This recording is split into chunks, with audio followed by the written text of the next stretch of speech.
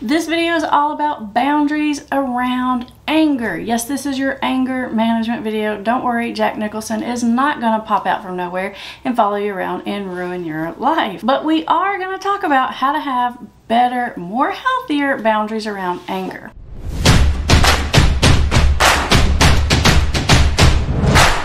For those of you who are new here, I'm Amber Hollingsworth and you're watching Put the Shovel Down. This YouTube channel is all about helping you take your life and your family back from addiction so you can get back to living the life that you want to live. All right, back to our topic. You know, the other day I was talking to Kim. That's one of our family recovery specialists. I don't know if you met her or not, but she is awesome. But she kind of threw out this slogan, which was, you know, it's okay to be mad, but it's not okay to be mean. And I just loved it. Now, she said she heard that somewhere else, but I can't remember where. However, it's just been stuck in my brain ever since then and actually inspired this video. Let me say that one more time. It's okay to be mad, but it is not okay to be mean. And many, many times we justify bad behavior because we're upset, because we're angry, because our feelings are hurt, and we think that means it's okay for us to treat other people badly. But unfortunately, it really isn't. And we're going to talk a little bit more on how and why we have a tendency to justify these types of bad behaviors. But before we do that, let's take a quick look at where this could be coming from.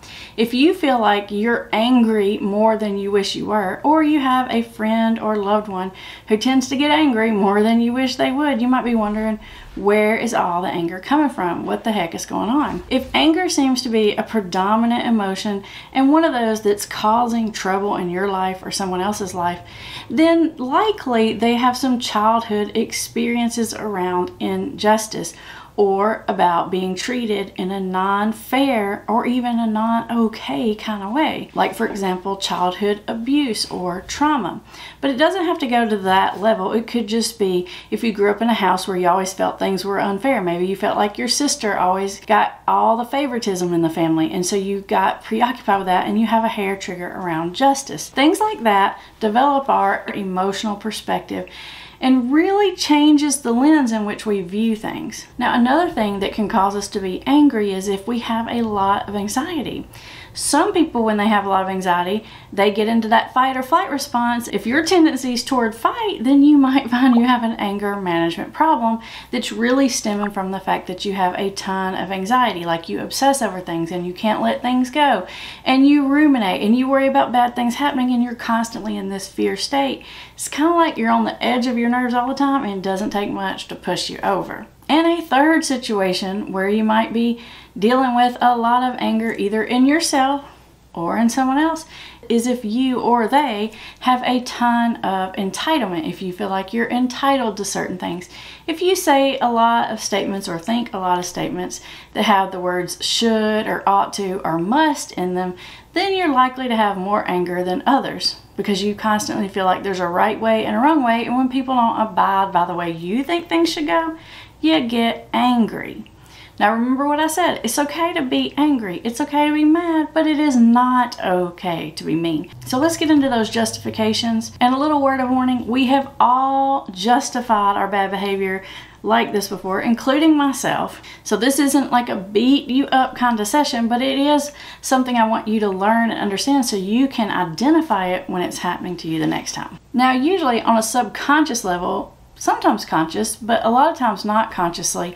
We feel like if someone has hurt our feelings or upset us, it's okay for us to hurt their feelings or be really mean back. But we all know in our heart of hearts that's not true. And besides the fact of whether it's okay or not okay morally, I gotta tell you, it's just not very effective in most cases it doesn't usually get you the result you want. Here are the top three ways that I hear people justify their angry outburst. Number one is they'll say, I'm just telling the truth. Sometimes the truth hurts. Now, here's the deal you can tell the truth without being mean and without being hurtful. And if you think, well, I'm in the right here because I'm telling the truth, here's the deal relationships require tact. And just because something is the truth, the truth should not be used as a weapon. If you are using truth as a weapon, then you're probably out of bounds. The number two thing that I hear people say all the time is, well, that's just me. Take it or leave it. what you see is what you get. You know, I'm not going to sugarcoat anything for anyone, and this is really just a way of letting yourself off the hook of having any responsibility.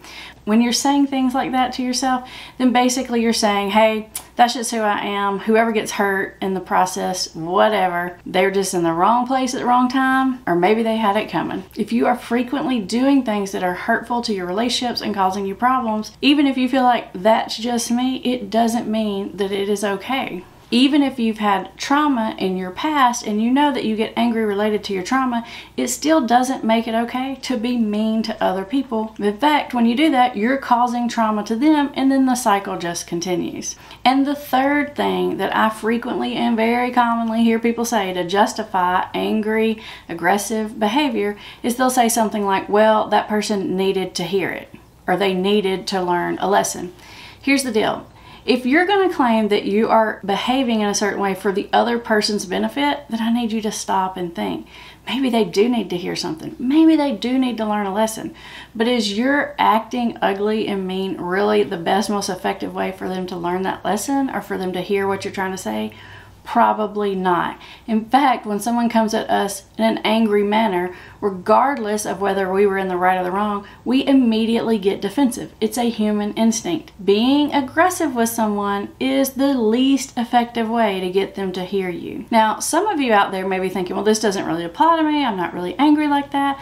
But I want you to stop and think do you have a tendency toward passive aggressive behaviors? So maybe you don't show out and act crazy, but you do little passive aggressive things. It's kind of like little get back at you, or I'll show you, or I'll make you feel what I'm feeling, or I'm going to give you a taste of your own medicine. Or maybe you just give what I call the little drive-bys, the little offhanded, hurtful kind of remarks, the little jabs, the little sticks here and there. Those are also not okay behaviors, and they're just not effective.